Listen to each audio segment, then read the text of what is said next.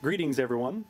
I wanted to take a moment to show you the latest addition to the Lost Parallax film project. Uh, this is what's called a motion control system, which is utilized in a lot of stop motion films uh, and some live action films as well. Uh, this is all custom made uh, by myself and my engineer. Uh, so I'm going to just kind of take a moment to show you the different components and uh, how they all work together and the kind of results that you can see from them. So taking a step back, you see there are three separate pieces to this system. You've got your software on the left side, uh, and I'm running this off a MacBook. Uh, in the middle, you have the control box for all the motors, and then on the right side, you have the actual head itself. So uh, the software, of course, controls the box, and the box controls the motors. So we'll take a look at each one of these systems separately, and in fact, we'll probably, yeah, we'll work backwards. So this head is a uh, three-axis head, and you're probably familiar with the typical heads that you might have at home on a tripod, which is a pan and tilt. So this one has your uh, pan right there, has your tilt, but also has a third one which is roll. So this is a three-axis, uh, sometimes called the Dutch head, and so this is what actually uh, uh orients the camera to however the uh, shot uh, you know requires. So this uh, head was all made specifically for the Canon T2i. So this is our new camera that's going to be utilized in the film. So it's all balanced specifically for that camera. So you can see there are the three separate motors that control the three different axes. So this is your roll axis. So as this turns, you actually see the camera turn. You move back a spot and you see the tilt motor right there. So that actually tilts it up and down. And then you drop right on down and hidden underneath there is the pan motor. So he's hiding under there. So that's what's actually moving the entire arm around back and forth like that. So take a step further back and you've got a cable box that moves all your signals down into your motor control box and interface box right here. So uh, this takes a little bit of explaining as to what's going on here. So uh, you've got your power supplies going on inside here.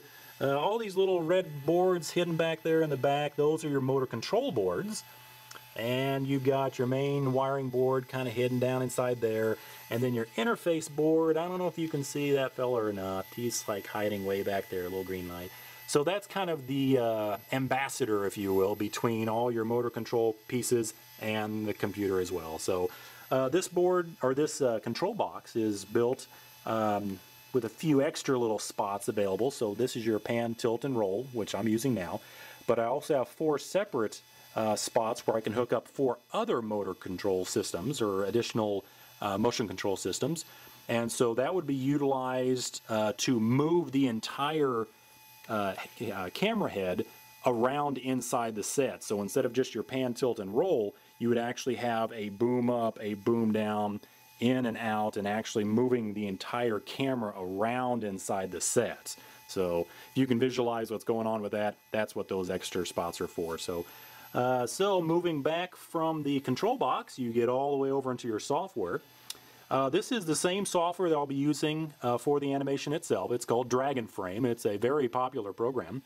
Uh, and it has uh, motion control features built into it. So this is actually the motion control screen. And so you can see down here I've got the pan, tilt, and roll. And each one of these colors coordinate to different colors on the timeline. So your timeline starts at frame zero on the left and as you count up in frames and you know move forward in time to the right, you can see how all these different motors or uh, uh, camera axes have different positions. And so this shows you where the, the pan tilt or roll will exist at different times throughout the, the animation shot. So I'm going to go ahead and start this moving. And so you can see as it's progressing forward, it's showing me what frame I am currently on and the motors are moving as we progress forward. So you can hop over here and you can see that the head is moving. Now it's not moving really really fast but it actually is still moving pretty fast for stop motion. So keeping in mind that stop motion is you know one frame at a time uh, this will actually you know advance ever so slightly just little bits at a time as the animation is being performed. So a lot of times it's like less than a degree or just or a single degree that, that it changes between frames. So Um, I just kind of put this sequence together so you can see some of the different moves that it's capable of. So you can kind of see how it's just kind of advancing, you know, frame by frame and just kind of spinning around and doing its pan tilts and rolls. So um, I've had some questions as far as like how this actually works and I've tried to explain it but I figured this would help out uh, quite a bit and uh, kind of give you an idea as to how it's functioning and how all the different components are working together. So I will be able to uh, go through the entire shot if it has a lot of camera moves in there and see if the framing is appropriate or if I'm cutting anything off that needs to be in the shot um, without like going through the entire animation process and realizing, whoops, I made a mistake back in frame 10 and I have to redo the entire thing again. So um, some people have also asked, uh, what's the point of using this elaborate system? Why don't just put the camera onto a tripod and just use it like that?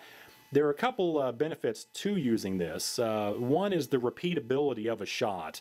And so you can see like as the timeline exists, I can repeat this exact same sequence capturing frames and I can animate all the characters in the frame or uh, in the shot then go back and record the exact same scene without the characters and that gives me a nice timeline a nice uh, uh, ability to erase rigging and a lot of different things like that, which help in the uh, in the editing process. So it really does uh, increase the flexibility that the um, that the animator has while producing these projects. So um, hopefully this will uh, be the first of many different systems all controlled by uh, by the software. So.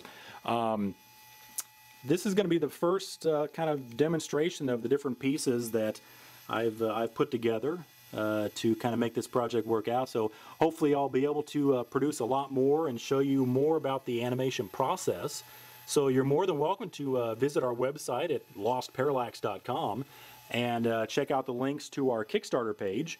And if you want to become a backer to this project and uh, help fund us so that we can make this magic happen, I definitely uh, encourage that. And any donation between $5 and $5 billion is uh, greatly appreciated. So hopefully I look forward to presenting a lot more components and a lot more filmmaking magic for your enjoyment. So I look forward to doing so.